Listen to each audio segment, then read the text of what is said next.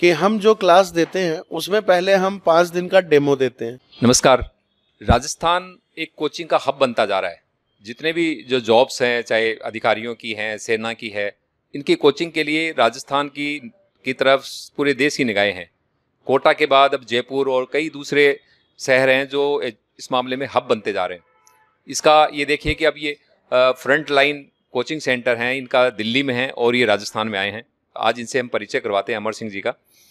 अमर सिंह जी आप आपका coaching centre Delhi में था तो आप यहाँ राजस्थान में किस तरह से आए? कि राजधानी छोड़ करके एक स्टेट की राजधानी में।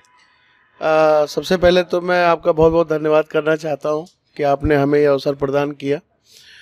राजस्थान में आने के कई कारण रहे हैं। पहला कारण तो ये रहा कि राजस्थान में हमने काफ़ी समय तक पढ़ाया भी और जो हमारा मेन जो उद्देश्य है वो जो ग्रामीण परिक्षेत्र के बच्चे हैं और राजस्थान के सेना में भी काफ़ी बच्चे हैं, पुलिस में भी बच्चे जाते हैं और जो प्रदेश स्तर की जो परीक्षाएँ होती हैं, उसमें भी बच्चे भागीता लेते हैं। तो शुरू से हमारा एक उद्देश्य था कि जो ग्रामीण परिक्षेत्र के बच्चे हैं, उन्हें दिल्ली जैसी सुविधाएँ नहीं मिल पाती हैं। दिल्ली में रहना, खाना और कोचिंगों की जो बड़ी फ़ीस होती है, वो उनके लिए बहुत ही ज़्यादा महँगी पड़ती है। तो क्यों ना हम ही वहाँ तक पहुँचे। और जो गुणवत्तापूर्ण शिक्षा है, उसको बच्चों को प्रदान किया जाए और वो बहुत ही कम फ़ीस पर दिया जाए। हमारी पूरी टीम, जो कि अभी बहुत जल्दी ही हमने पिछले साल कोचिंग शुरू किया था, पाँच जून 2018 को हमारी कोचिंग शुरू हुई थी। और अभी हमारे पास गुणवत्ता शिक्षा देने की वजह से ही लगभग साढ़े चार हज़ार के करीब में बच्चे हो गए। दिल्ली और जयपुर से मिला करके? नहीं अभी तो दिल्ली में हमारा जो बैच है वो अभी सात तारीख को आने वाला है और उसी की सारी तैयारियाँ ये चल रही हैं। और अभी तक हमारे पास लगभग साढ़े तीन सौ से ज़्यादा बच्चों के यहाँ पर आकर उन्होंने इंक्वायरी वगैरह ले रखी है। अमर सिंह जी, एक बात बताइए कि आप इस कोचिंग सेंटर के अंदर किन किन नौकरियों के लिए तैयारी करवाते हैं? हमारा तो मुख्य उद्देश्य है आईएएस और पीसीएस के लिए, लेकिन हमने ऐसा डिमांड देखा कि हर बच्चा आईएएस पीसीएस के बारे में सोचता भी नहीं है। तो जितने एक दिवसीय परीक्षा होती है, एक दिवसीय परीक्षा का मतलब होता है वे परीक्षाएँ जो थोड़े से कम मेहनत पर और जल्दी से जल्दी नौकरी मिल जाती है तो एक दिवसीय परीक्षाओं को भी हमने लिया है, जिसमें एसएससी की परीक्षा है एनडीए है सीडीएस है सीपीएफ की परीक्षा है, और जितने जैसे शिक्षक का है, पटवार है, लेखक की परीक्षा है, और भी अलाइड सर्विसेज़ की जो परीक्षाएँ होती हैं, इसमें थोड़े से गाइडलाइन की ज़रूरत होती है और अच्छे मटेरियल और मतलब आपने हर वर्ग के जो स्टूडेंट है, छात्र हैं, उनकी सुविधा के लिए हर विषय की आप यहाँ पे करवा रहे हैं। हर विषय की करवा रहे हैं। और हमारा मेन स्पेशलाइजेशन तो राजस्थान सिविल सर्विसेज़ के लिए है। लेकिन हमारे और भी जो सहयोगी लोग हैं जैसे हमारे जो मित्र हैं जो साथ में हम लोग पढ़ा रहे हैं इसमें सी के करण जी हैं जो जोग्राफी पढ़ाएँगे सुशांत जी हैं जो साइंस पढ़ाएँगे। मैं खुद भारत का संविधान और राज व्यवस्था और प्लस कानून भी पढ़ाता हूँ। बाई प्रोफेशन मैं वकील भी हूँ। और मेरा 2004 से प्रैक्टिस भी चल रहा है। पढ़ाने का मुझे शुरू से बहुत शौक था। इनफैक्ट मैं अपने स्कूल लाइफ से लेकर और यूनिवर्सिटी लाइफ तक टीचर के जाने के बाद मैं क्लास में खुद पढ़ाता अमर सिंह जी एक बात और बताइए। अभी तक आपने कहा कि दिल्ली में आपके पास साढ़े चार हज़ार बच्चे हैं। मतलब साल के अंदर साढ़े चार हज़ार बच्चे आपके पास रहते हैं। तो इनमें से जॉब लगने का प्रतिशत क्या रहता है? आप ऐसे मान के चलिए कि जॉब लगने का प्रतिशत लगभग आप एट्टी परसेंट के आसपास होता है। हमारे पास जो बच्चे आए, उन बच्चों में काफ़ी हद तक बच्चे तो सेलेक्ट भी हो रखे हैं और वो बच्चे जो सेलेक्ट होते हैं, वही बच्चे भेजते हैं। आप पूरे मुखर्जी नगर में जहाँ हमारी कोचिंग है, वहाँ हमारा कोई ऐड नहीं देखेंगे और ना ही हम दीवार पर पोस्टर चिपकाते हैं, ना ही हैंड बिल बांटते हैं। सारे बच्चे हमारे जो है, वो माउथ पब्लिसिटी से ही आते हैं। ये वीडियो भी जो बच्चे देखेंगे, उनको ये बात पता होगी कि किस तरीके से गुणवत्तापूर्ण शिक्षा हम वहाँ पर प्रदान कर रहे हैं। एक बात और बताइए कि आपने बताया कि आपके वहाँ पे एट्टी परसेंट बच्चे सेलेक्ट भी हो रहे हैं, लेकिन अभी आपने जयपुर में जैसे खोला है तो राजस्थान में जो छात्रों के अभिभावक हैं तो आपकी ऐसी क्या खासियत है कि वो उन खासियतों को देख करके आपके बच्चों को आपके पास भेजें? इस पर हम दो पॉइंट व्यू से बात कर सकते हैं। एक तो ये है कि अगर हम छात्रों के हिसाब से देखें तो जो बच्चे पढ़ना चाहते हैं और जिनको वाकई में गवर्नमेंट सर्वेंट बनाना चाहते हैं, जो बनना चाहते हैं तो अभिभावक के दृष्टिकोण से अगर हम देखें तो दिल्ली की जो गुणवत्तापूर्ण शिक्षा है, वो हमें ऑन डोर मिल रही है, यानी राजस्थान में अपने घर में ही मिल रही है। और दूसरी चीज़ की जो अभिभावक हमारे पास बच्चे भेजेंगे वो खुद आकर संतुष्ट हो सकते हैं कि यहाँ पर कितनी गुणवत्तापूर्ण शिक्षा दी जा रही है। सबसे बड़ी बात होती है कि जो विषय आपको पढ़ाया जा रहा है, उस विषय में आपकी नॉलेज कैसी हो रही है जो पढ़ाया जा रहा है वह परीक्षा के लिए कितना तर्कपूर्ण और तर्क संगत है। और जो पढ़ाया जा रहा है उससे पुराने वर्ष के परीक्षाओं के प्रश्न आपसे हल हो पा रहे हैं या नहीं ये सबसे महत्वपूर्ण होता है। तो आप बच्चों का बीच बीच में टेस्ट भी लेते हैं ऐसा एक तरह से जैसे उनको प्रैक्टिकल कंपटीशन करवाना? ये हमारा प्रोग्राम होता है। हमारी जो क्लास होती है वो तीन घंटे की क्लास होती है जिसमें एक दिन में हम दो सब्जेक्ट पढ़ाते हैं। जैसे मान लीजिए अगर भारत का संविधान पढ़ाया गया तो साथ में जोग्राफी या भूगोल पढ़ाया जाएगा, मैथ्स पढ़ाया गया तो साथ में इंग्लिश या रीजनिंग पढ़ाया जाएगा। जैसी जो परीक्षा हो अलग अलग सब परीक्षाओं के सिलेबस होते हैं। तो हमारा पढ़ाने का तरीका ये है कि हम पहले डेढ़ घंटे में, यानी एक घंटा तीस मिनट में, एक घंटे बीस मिनट पढ़ाते हैं। जो दस मिनट हमारे पास बचता है, उसमें हम पढ़ाए हुए टॉपिक पर ही दस मल्टीपल चॉइस क्वेश्चंस देते हैं। वो क्वेश्चंस बच्चे को आउट ऑफ़ बॉक्स नहीं होता।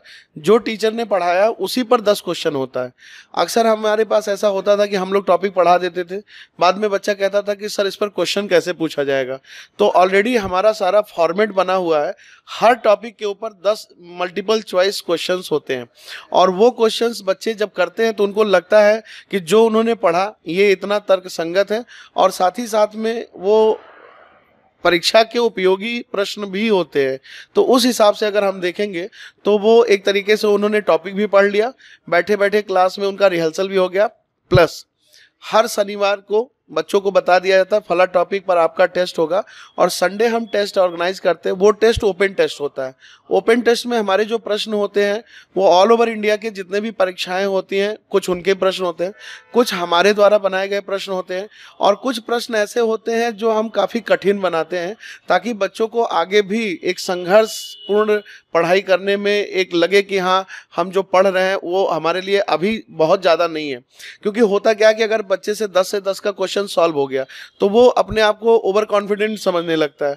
इससे क्या है कि आगे तैयारी करने में बाधा आती है तो हम प्रश्न के कई लेयर्स रखते हैं। उसमें कुछ प्रश्न होंगे जो बिल्कुल नहीं होगा, कुछ प्रश्न होंगे जो हो सकते हैं, और कुछ प्रश्न ऐसे होते हैं कि जिन पर बच्चे को बहुत ही ज़्यादा टेक्निकल माइंड अप्लाई करना पड़ता है। अमर सिंह जी, आपने गुणवत्ता, पढ़ाई की जो आप यहाँ पढ़ाते हैं, उसकी गुणवत्ता के बारे में बात करी।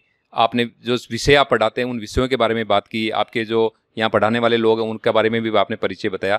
अब सबसे बात आती है फ़ीस की, कि आपका ये जो इस लेवल का जो स्टैंडर्ड का जो आपका कोचिंग है, क्या वो हर बच्चा अफोर्ड कर सकता है? तो आपने फ़ीस का क्या स्ट्रक्चर रखा हुआ है? आपने बहुत अच्छा प्रश्न किया है, और मैं तो इस बात में खुद कहना चाहता हूँ, जैसे काफ़ी जगह पर हमने दूसरी कोचिंगों में भी पढ़ाया है, और उनके यहाँ हम जब जाते थे तो वो हमें पाँच हज़ार रुपये से लेकर दस हज़ार रुपये घंटे तक का पेमेंट करते थे। यहाँ तक कि फ़्लाइट से आना, जाना, रहना, खाना भी वो हमें देते थे। तो मेरे एक बात समझ में आई कि जब वो हमें दस हज़ार रुपये पर घंटे दे रहे हैं तो वो बच्चों से कितना चार्ज करते होंगे? तो क्यों ना यही चीज़ जो हम दूसरों को दे रहे हैं, अगर हम खुद पढ़ाएँ, हमारे जो साथी अध्यापक हैं वो पढ़ाएँ, और हम एक बहुत कम फ़ीस पर जो गुणवत्ता हम बड़ी कोचिंगों को दे रहे हैं, जो कॉरपोरेट बना लिया है, या जो उसको बिज़नेस जैसा आप करा रहे हैं तो उसको हम बहुत कम फ़ीस पर कर सकते हैं। हमारे यहाँ प्रोडक्ट के हिसाब से फीसें हमने डिसाइड की है। जैसे हमारा जो आई और पीसीएस के जो क्लासेस के हैं, उनमें हमने मात्र पैंसठ हज़ार रुपये के आसपास हमारी फ़ीस है। और अगर बच्चे का सिलेक्शन हो जाता है तो उसमें हम ट्वेंटी फाइव परसेंट उसे ऑफ़ भी कर रहे हैं। इसके अलावा हमारे कुछ ऐसे कोर्सेज है, जैसे एक जो हमारा सबसे सफल कोर्स रहा है जीएस स्पेशल का।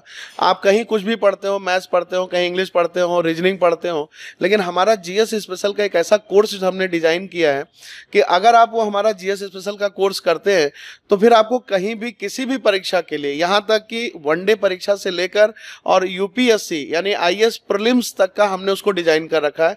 उसके लिए आपको कहीं जाने की ज़रूरत नहीं पड़ेगी। और वो मात्र सात हज़ार पाँच सौ रुपये है जिसमें 18 परसेंट हम जीएसटी भी देते हैं। यानी अगर देखा जाए तो उस कोर्स की फ़ीस जो है वो पाँच हज़ार के आसपास आएगी।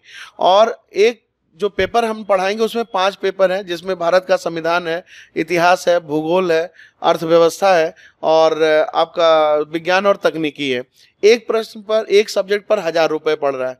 अगर इस हिसाब से देखें तो ये आ, कुछ भी नहीं है सिर्फ़ एक समाज के प्रति हमारा जो कर्तव्य था, उत्तरदायित्व तो था, उसका भी बहन कर रहे हैं। ये कि आपने ये बताया कि पाँच हज़ार में एक आप जीएस कोर्स करवा देते हैं, सात हज़ार में जीएसटी माइनस होती है उसमें से, आपको पाँच ही मिलते हैं।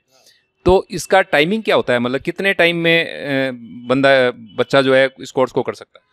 वैसे तो हमारे डेस्क से पाँच से छः महीने बताया जाता है कि हम छः महीने में करा देंगे लेकिन ये सात महीने तक चला जाता है क्योंकि उसमें आ, कुछ जो छुट्टियाँ होती हैं होली दीपावली दशहरा इसको भी अगर हम इंक्लूड कर लें तो वो लगभग महीने भर का टाइम सात महीने में तो सात हज़ार रुपये बहुत कम है।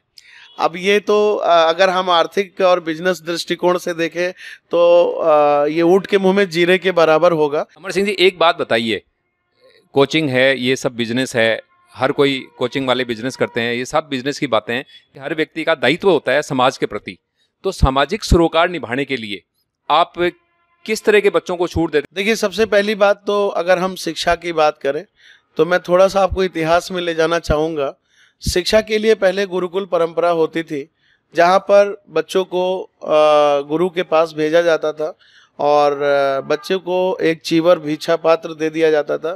बच्चे स्वयं जो है अपने गुरु के लिए और स्वयं अपने लिए भी वो भिक्षा अटन करते थे और उससे जो है उनका जीवन यापन भी चलता था और वो शिक्षा भी ग्रहण करते थे।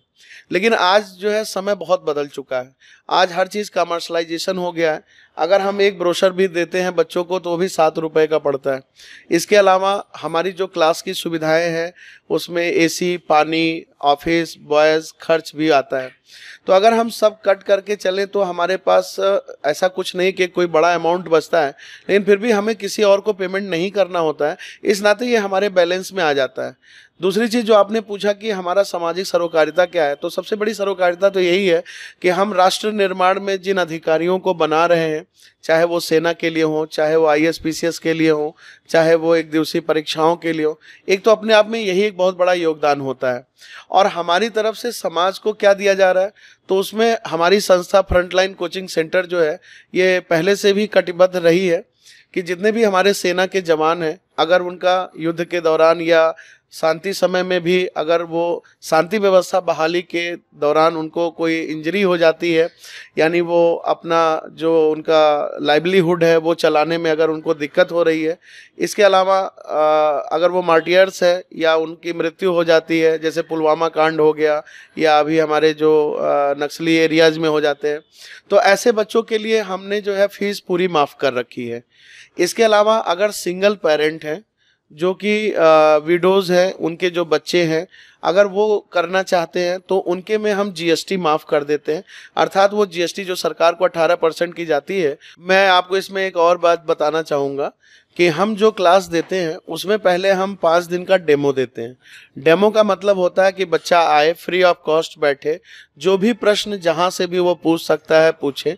और अगर पाँच दिन उसको लगता है कि हाँ क्लास बहुत अच्छी है तो वो फिर अपने एडमिशन्स ले सकता है। लेकिन इसमें एक दिक्कत और भी होती है कि मान लीजिए हमारी जो अच्छी चीज़ें हैं, वो हमने पाँच दिन में पढ़ा दी।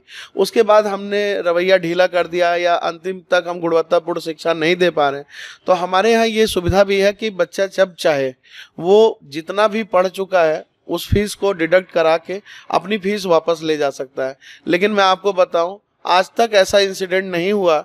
हमारे साढ़े चार हज़ार बच्चों में आज तक किसी बच्चे ने फ़ीस वापस नहीं लिए। तो आप थे अमर सिंह जी, आपका दिल्ली में फ्रंट लाइन कोचिंग सेंटर के नाम से इंस्टीट्यूट है और अब आपने यहाँ ग्रामीण बच्चों के लिए, उनको सुविधाएँ देने के लिए जयपुर में ये कोचिंग सेंटर खोला है। जिसका पता हम नीचे डिस्क्रिप्शन के अंदर देंगे इनका संपर्क नंबर भी देंगे। यदि आपको आई आईएएस आरएएस इस तरह की या किसी भी नौकरी की कोचिंग लेनी हो आप तैयारी कर रहे हैं तो आप इनसे संपर्क कर सकते हैं। और इन्होंने जो एक सबसे बड़ी बात बताई इनका जो जीएस इनका जो सब्जेक्ट है या इनका जो पैकेज है वो बहुत ही कम पैसे के अंदर वो बहुत ही नॉर्मल फ़ीस एक तरह से देखा जाए तो उसमें बिजली पानी भी नहीं निकलता। वो आप लेकर के किसी भी परीक्षा के अंदर आप सफल हो सकते हैं। साथ ही अमर सिंह जी सामाजिक सरोकार भी निभाते हैं। यदि आप किसी विधवा या शहीद के पुत्र हैं तो आपको यहाँ की जो सामाजिक सरोकारों के प्रति प्रतिबद्धता के प्रति ये जो छूट देते हैं वो भी आपको मिलेगी। तो बने रहिए हमारे साथ। हम फिर अगले वीडियो के अंदर बताएँगे कि फ्रंट लाइन में किस तरह की पढ़ाई होती है, इनके दिल्ली सेंटर में क्या होता है, इनके क्लासों के बारे में भी इनके जो टीचर्स पढ़ाते हैं, उनका डेमो भी आपको हम दिखाएँगे। धन्यवाद।